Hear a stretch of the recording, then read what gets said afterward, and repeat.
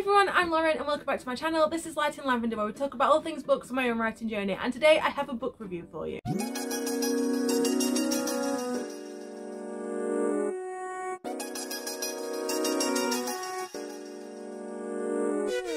Today I will be doing a review of Dead Boys Game and The Broken Vow by A. David Singh. This was a book that I received in exchange for an honest review and I have previously half mentioned it in my wrap up for September. Yes, September is when I read this book and I've been meaning to do a video for this for a while but I've kind of lost a lot of motivation with filming so it's taken a lot longer than I expected but it's finally here, it's finally done and now you can see my full thoughts.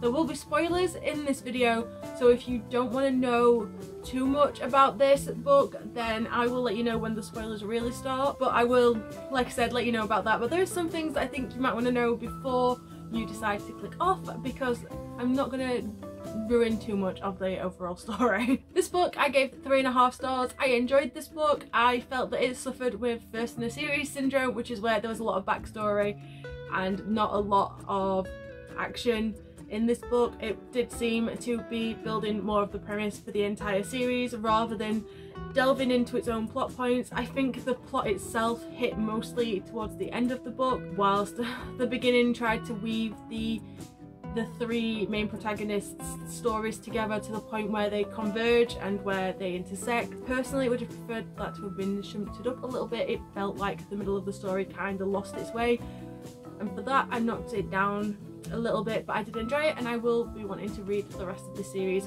when I get the chance but with the amount of books I've got it may take a while to finally get around to this. The book centres on three main characters, Gaius Julius, Vilius and Calpurnia who all want to achieve the lofty ambitions and goals of senatorship in the Roman Republic.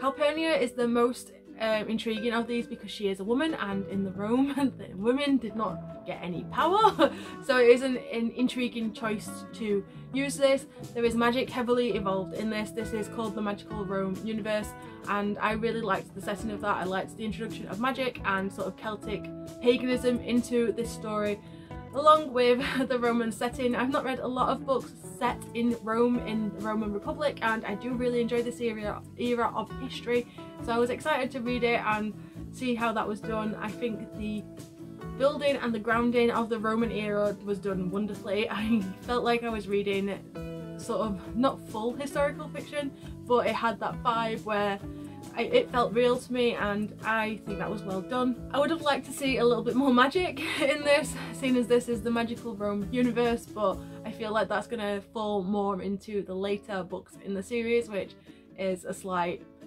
one of my slight concerns with this book that I was expecting magic and I didn't really get any, uh, especially in this book. For this book and this universe there is a quiz that you can take to see which character you are from the book. I didn't do this quiz until after I had finished reading this book because I don't like to have any sort of spoilers or preconceived ideas before I go into them and I felt like this quiz would do that. These are like sort of the fan style quizzes um, that you used to do, well at least I used to do when I was a teenager like 13, 14 years ago where you'd see which character you were from Harry Potter, Twilight, insert really old book series here. It had that sort of vibe to it and I enjoyed the quiz and I thought the character I was assigned did fit me quite well with who I am as a person. I think it was Aurelius who I got but again the idea is the quiz is you do the quiz to help prompt you into wanting to read the book and I feel like it would do that but for me personally I prefer to do these things afterwards. But I will leave a link to the quiz down below if anyone wants to take it just to get an idea of the characters and the type of characters in this book. And it also does leave a link to where you can get a copy of the ebook if you are interested in buying this book as well. Right so now this is your warning that there's some spoilers coming.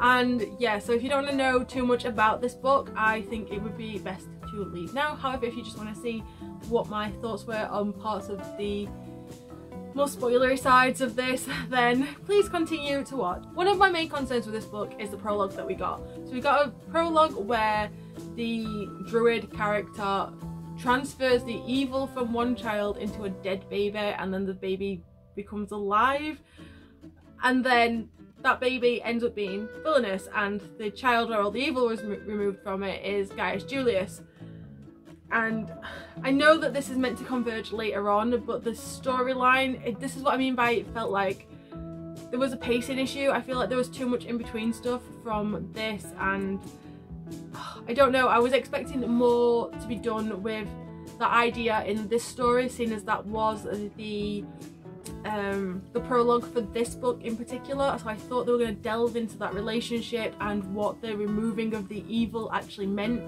and how Villainous was actually alive. It was a very strange sort of way to put this in. Um, I did enjoy the fact that Villainous found the plant which helped bring him alive and the plant helps him with things in his daily life. I, I enjoyed the inclusion of that, but I also felt it was a little bit odd.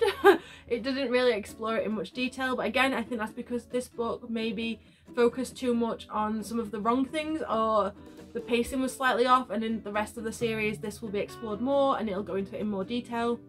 But that is my main issue with like their storyline. And then we have Calpurnia. She's meant to be one of the main characters but she was locked up is she was kidnapped for most of the book she didn't have much agency, someone else helped her escape and she wants to be a senator but I don't really understand why apart from the fact that it's just to move the story along. There wasn't a lot explored with this character and to say that she is mentioned in the blurb. Um, I don't think that there was enough time given to her and to fully develop her and her wants and ambitions. And it did frustrate me that she was just kidnapped pretty much straight away and then she was kidnapped I think it was like I want to say two months she was locked up, might have not been two months, but she was locked up for a long time. And it took her a while to think of a plan to escape and yeah, it just, every time you went back to it, it was just like, oh, she's in this cell again. And yeah, it, it I don't know, it, there was just something a little bit off with how that bit was done and I felt like it could have been expanded on more. I don't know, I think there was just too much trying to be done in this book to get it to where it needed to be. I think the backstory problem was a, a big issue with this story.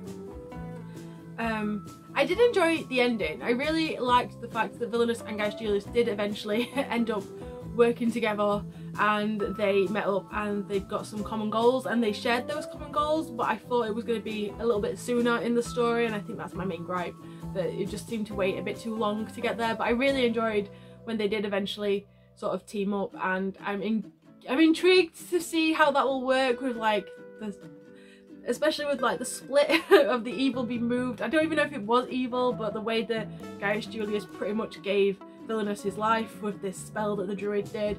And I'm excited to see where the druids actually fall into there and if they're coming back or if it's all around this magical plant and this sort of like... I think there was a portal element, but I can't really remember.